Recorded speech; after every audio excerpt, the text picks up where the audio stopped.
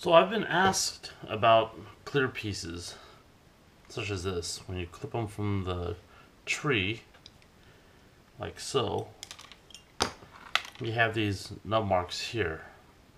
And I've been asked about sanding them and how to how to go about working on these. So there's this nub mark here. I'm just going to go ahead and roughly sand away that nub mark. And you'll see that this part is getting a little bit cloudy because I'm sanding it. Now once I, the sanding, or the sanding causes this cloudiness because it's uh, light, when it hits this part, it's refracting all over the place so that it, you don't see it's not looking clear. But I could go ahead and keep polish, polishing this with higher, finer, finer and finer grits. You also notice that some of these parts have these mold lines that run up and down these uh, pieces. Best thing to do is also sand these mold lines. So once you're done kind of sanding most of that nub away, you can run your fingernail across check that it's gone. I usually like to go in with some higher and higher grits of sanding pads. And this basically polishes it and kind of gets rid of the cloudiness as much as possible.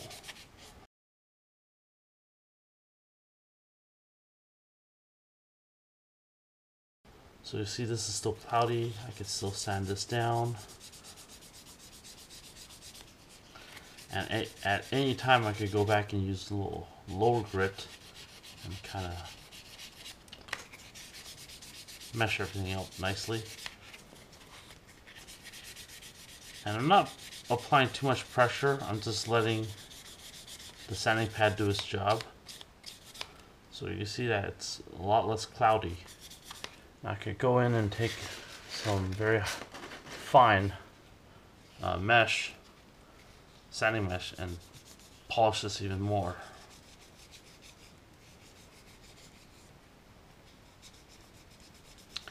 Now, as much as you polish this, it's not going to get completely clear.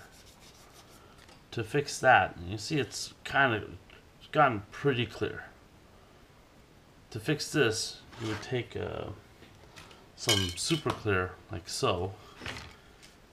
Against my better judgment, I'm going to spray right here so we can see how this works. Then we get a little something to protect this with, protect my mat with.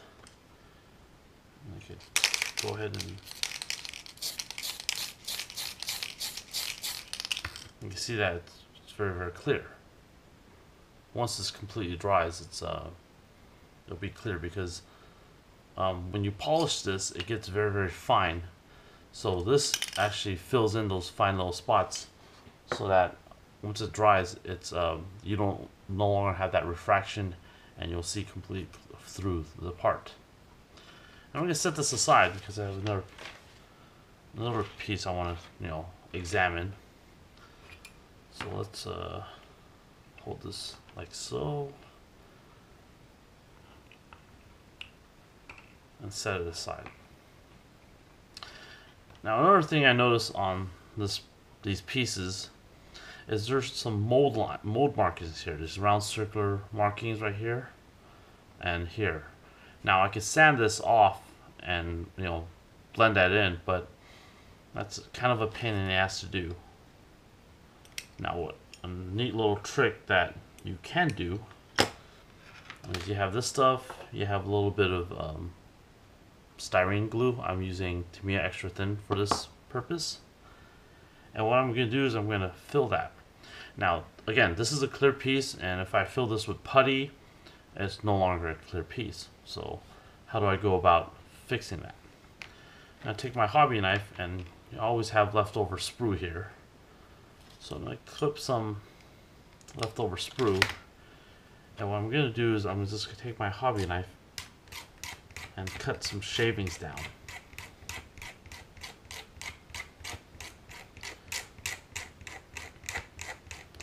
Now you'll notice that these shavings are not are not clear. They're kind of white because again, light's refracting off everything. So once I have some amount of shavings down here, put that together, I can look for my my mold line, which is that circle right there. Take some of this styrene glue and just apply a little bit over that dab, over that circle. You see that circle will kind of disappear with the with the glue applied, but it's not actually gone. What I will do now is I'm going to put the shavings over that circle area. And once I have my shavings over that circle area, I'm just going to apply more glue. And this melts that clear over that uh, circular area. So I'm going to apply just a little bit more shavings, apply more glue, and you can see that this kind of melts it onto the surface.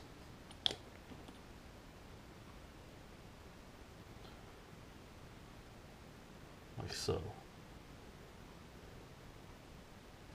And you can see now that I've pretty much created a little bit of a bump where that circle used to be. So I know my circle is right here.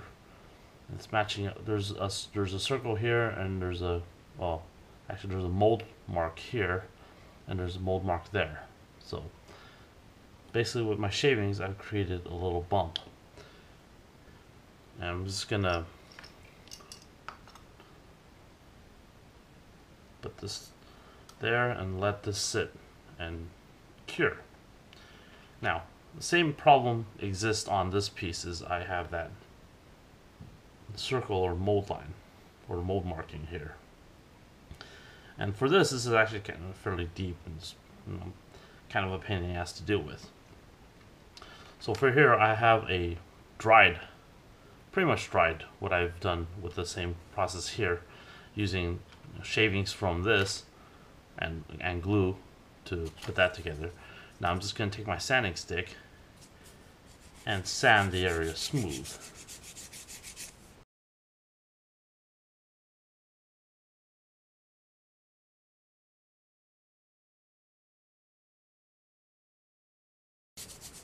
Now once I have majority of that excess removed, I can check this part, make sure it's still um, smooth.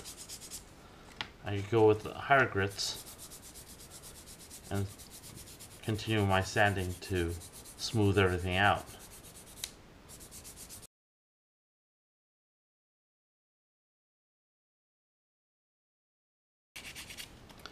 And different sanding meshes just so I could get finer and finer.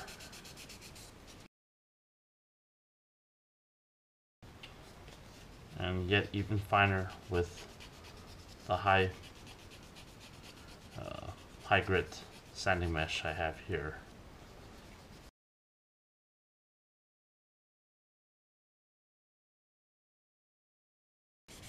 Now usually when you're filling seams or filling holes with putty, you prime to check your work. Now since this is a clear piece, you can't really prime this, but you can spray it with a clear gloss and see how that how that uh, co is covered up. And if it's not covered up, you just have to resand it slightly, buff it out a little bit more, and then spray another layer of clear gloss. And this will effectively be uh, priming this part. Instead of priming a um, solid piece or uh, solid color, you're priming a clear part using um, clear paints. So now that this has been fairly polished up, I'm gonna bring this back over here as my little shield. Get my can of uh, super clear gloss. And carefully just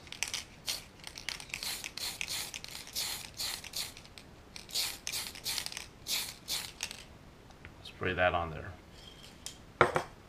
Now as this uh, sort of ventilation clears a little bit, You'll see that this might still have a little bit of cloudiness that I need to fix, but once this dries up, this should be pretty clear. and you can see that that hole or that mold line that used to be there is no longer there. Now you can make that comparison with where the mold line is or mold marking is on here. You see that the mold marking is very very clear on here and uh, you can't really see it on this part that I worked on. And that's the same process as just filling this area with um, excess uh, runner, the clear runner, and using the glue to put that in there.